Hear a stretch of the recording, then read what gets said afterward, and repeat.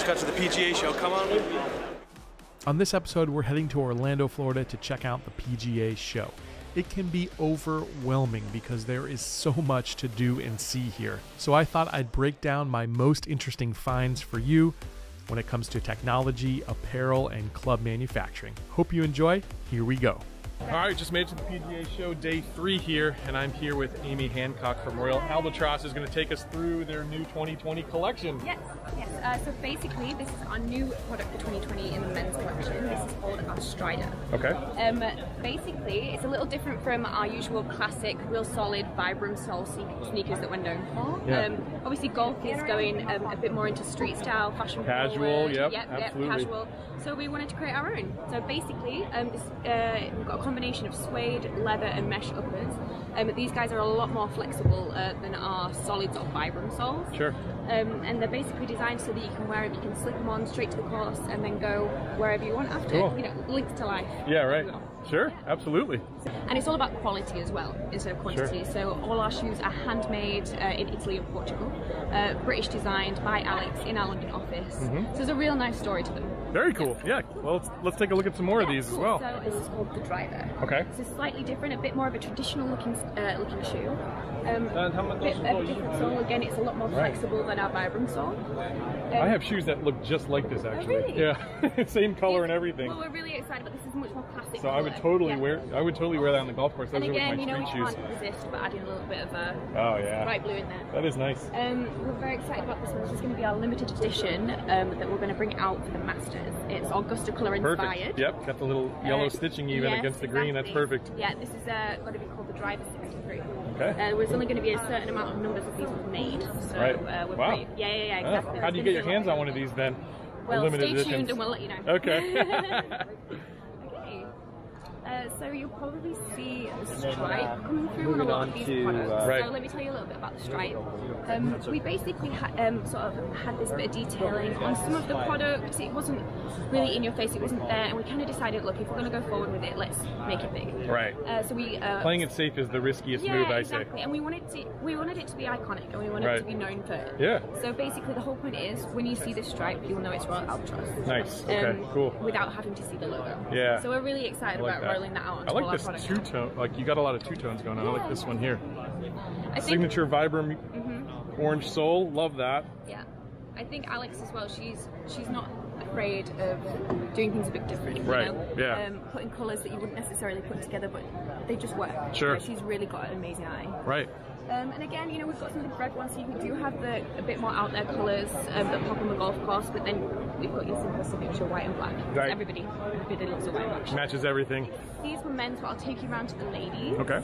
Uh, so these are uh, ladies' Vibram sneaker soles. So we're known for our signature orange Vibram sole. Yep. Uh, these ones, uh, as I was saying before, not like the hybrid. These ones are a lot more solid. They're um, a lot more of like an investment shoe. Sure. Um, they're in- incredible on the golf course for traction.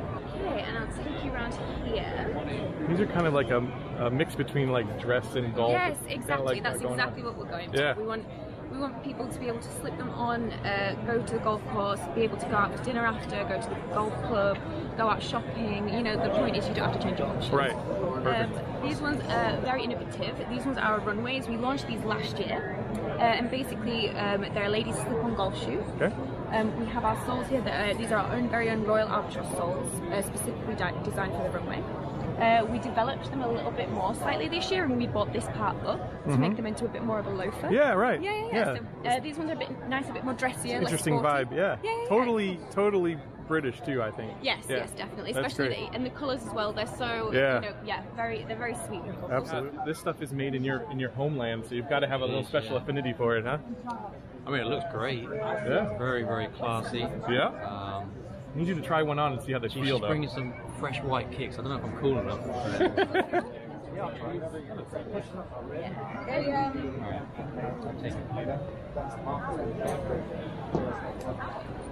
These ones are Croco Biancos. These guys are very popular. They're classics. They're a carryover from last year. Probably the right size for me. Yeah. You look good in those, Pat.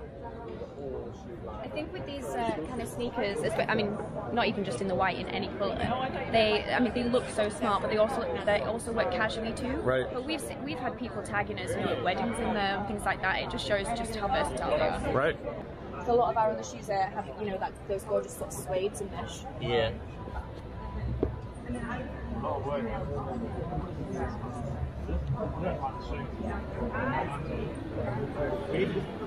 They look really good on our stripe. Pat, I think you found your, your new shoes, man. You look good in those. I wouldn't want to wear them on the course because I've got them dirty. I know. They're definitely a summer golf shoe, that's for sure. Take a little, take a spin around in them.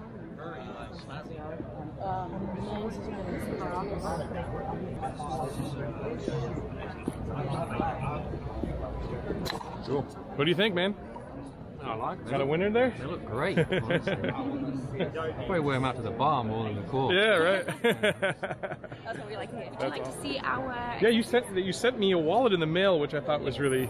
It smelled good. Like it's weird to say, but like when I It's the opened the envelope, leather. when I It's opened the envelope, it just like wafted in my nose. So yeah, let's see let's see some of the other accessories you guys have.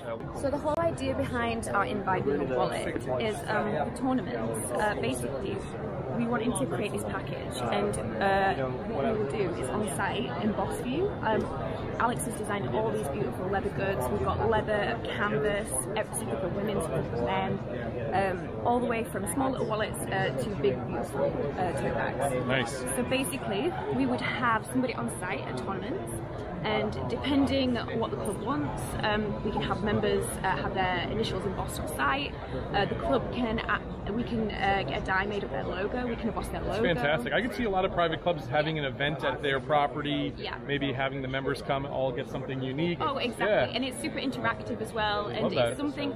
The difference is we didn't want to do just golf, uh, uh, golf gloves, golf bags. You know, this is something that people can have every day. Right. And you know, people at these tournaments, they're going to be traveling. They're people. They, they need the bags. They need the wallets. They need durable, good quality things. Right. So uh, we design things that are going to stay with these people forever. Yeah, I, like the current wallet I've had, it's good quality. I've had it for eight years. I can't get rid of it, but I think it's finally time to, to ch- put, put my cards into the new one because I this thing is wait. I beautiful. exactly. I can't wait to see it. It'll be my next wallet for the decade. it's 2020, new decade or whatever. Exactly. What was your initial? GA. So you line up the because it can get quite confusing when you change the Sure. angle in- of the um, the wallet. Right. So they actually mark a little line there, so you know exactly which way up the uh, the letter should be.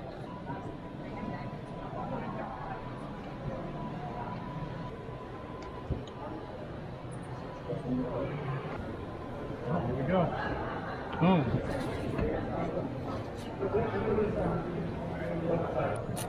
Boom. Oh, Look at that. And we managed to hit the same spot just about. Yeah, that's great, man. Thank you. No worries. My new Royal Albatross. All right, I'm done with this one. I've had this thing for eight years. It's all coming out. New man. Thank you, Royal Albatross. I'm here with Tiffany DePani of Argolf to learn a little bit about, about it because I don't know anything about it. So tell me about it. But clearly, it's a legend, and I'm missing out. So It is. what am I You're missing? Out. All right. So, our golf started um, back in 2010 making putters Okay. and the top of the line putters. So our owner Olivier, his father owned a manufacturing company in France called Okay. Armor Mecca. Yeah. They manufacture parts for Airbus, NASA, um, Boeing. Okay. Some of the most intricate parts like valves and um, other tubings that there's no room for error when Wow. you're putting that on a spaceship. Sure. Yeah. Of right? course. so they have the software by Siemens, and it's the best technology out there for milling. Okay. So every Argolf putter and now irons is made with the same materials that are on the spaceships and the same machines that make those those um, parts. So, and because they're located outside of the Brocéliande Forest, are you familiar with King Arthur and all of the course. Oh yeah. Of course. Yeah. So all of that happened in the Brocéliande Forest, Right. forest, and where they are in France is right there. Oh wow. So every putter, uh, when they were born, they're all given names of legends. So you have Merlin, Arthur, Oh, I did see that. That's very cool. right. So Yeah. Um, that's where we have those, and they all have a little story behind them. Nice. And so last year we introduced the F18 irons. I know these things really caught my eye. Let's Yeah. let's grab one of them. Sure. So The F-18s are brand new this year. Last year was so successful with the F-15s, they continued with the prototypes. It's cavity back, um, completely forged, made from the highest quality stainless steel on the machines. Um, ultimate precision, forgiveness, accuracy.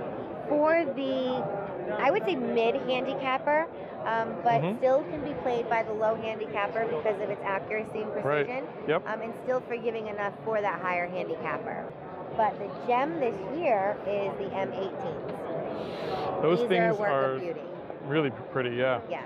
Um, True works of art. These are milled um, from one solid piece of stainless steel, Look at that. Which is also very um, unique to our company with our putters as well. Every putter is made from one solid block of metal. Okay. So, and as well as our M18s, they are completely milled Yep. from hosel down, one solid piece. This is how it comes out. There's no casting, there's no molding. They're all individually made. Wow. And were they laser cut or something? And yes, on the Mecca Armor has a software by Siemens. They're one of the few manufacturing companies in the world to have this advanced, sophisticated software. And so that is what actually does all the engraving and the milling on these. cars. Interesting. Wow. And So, is, is this t- taking place at the factory in France or is it in Jupiter? I know you guys are based there. All of the milling of the parts and pieces are done in France, Mhm. and the design and the assembly is all done in Jupiter.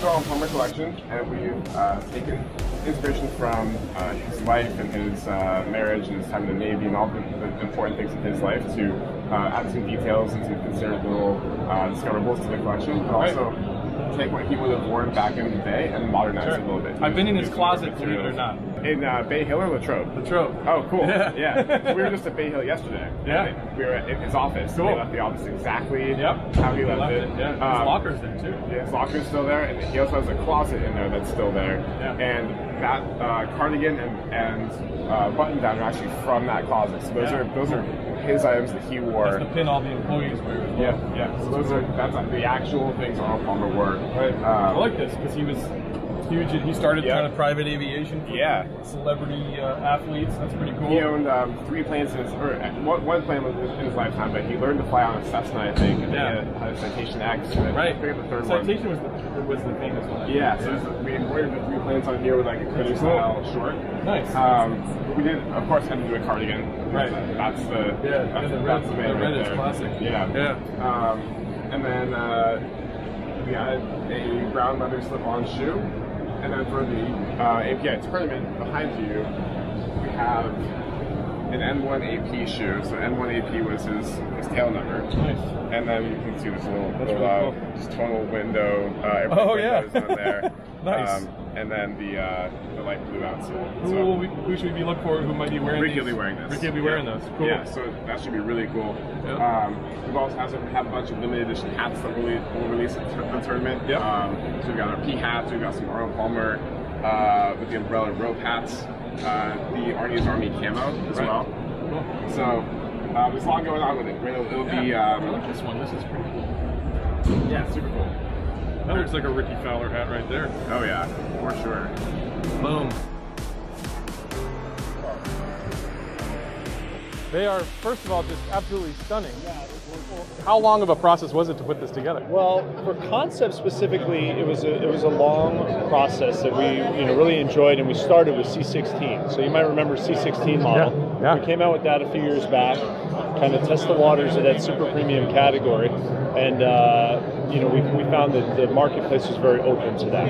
Sure. You know, everyone that uh, is a Titleist customer. You know, the discerning customer, they want they want the best performing products, and they're they're not opposed to spending some money on it if they know it's going to do something that you know they can't get anywhere else. Right. And so what we did is we went a little bit further with concept. We found some materials that we're using in the face. So it's the thinnest unsupported face in golf.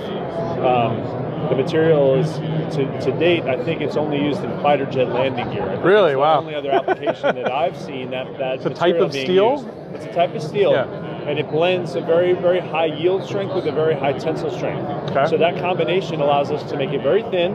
Um, we get a lot of rebound on the face without the. Um, it's it's more resistance to cracking. Yeah. Is it a Right. forged process The, the face is forged. Okay, the You face know, we is won't forged. advertise Okay. it as forged because Right. we feel that's a little bit Okay. misleading to Sure. the consumer to Right. say that this product is But you're going to have that product. feel that you would But expect the out of face a is forged. forged. It's a very thin piece of steel. It is Yeah. forged. Right. So it's still a, a loud, you know, popping product with Sure. Concept One. So Okay. this is this is the bread and butter of the Concept line. And, um, everything that's built around Concept is with this in mind: maximum distance, maximum forgiveness, maximum height, with a very playable descent angle. Okay. We didn't want to make a seven iron that.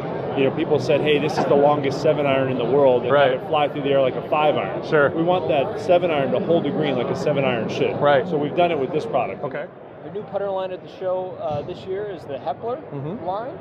Um, Beautiful, first of all. Yeah, so you'll notice first thing you'll, you'll pick up on is the color and the black, Right. uh, copper and black color blocking. Right. Um, Reminds me of the old uh, i2s that were, the, the, you know, harkens back to yeah, those copper we days. Definitely, we Yeah. definitely have a history with copper. That's Cool. for sure. Yeah. And then it's got a flat metallic face, so That's pretty rare these days, isn't it? It is. so it, this line was designed to complement the Sigma 2 line. So Mhm. the Sigma 2 has a really soft insert. Right. So, um, and we wanted to provide something that was a little firmer and more responsive to complement that, right? There's some players who really gravitate toward that softer feel. Others, they really desire that, you know, firmer acoustic. And so anytime you put grooves on a putter um, or anything like that, it softens it up. Sure. So by going completely flat and metallic, it provi- provides that response. Right.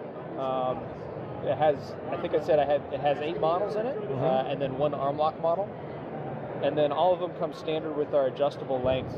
So it's an integrated adjustable length into the grip and the shaft. Oh, interesting. And so you use this tool. Yeah, how does it work? And so you use this tool, and you can adjust the length by turning it, and you can see the scale on the back there. Nice. That's anywhere cool. from 32 to 36 inches. Right. So when somebody's in the store and, and looking to you know buy a new putter, Right. they can get the length, perfect length for them in the store. It just looks very well balanced, though. I mean, the and the lines are gorgeous. So tell, tell me what went into the technology of coming up with this shape here. Yeah, so we implemented a, a high pressure aluminum casting process for all the mallets. And Yep. so what that gave our designers the opportunity to do is really move mass around in such a way that we could, in some cases, double the moment of inertia or the Wow. forgiveness of the putter Yeah. uh, with the with the mallets. And so with this in particular, this is a steel component here.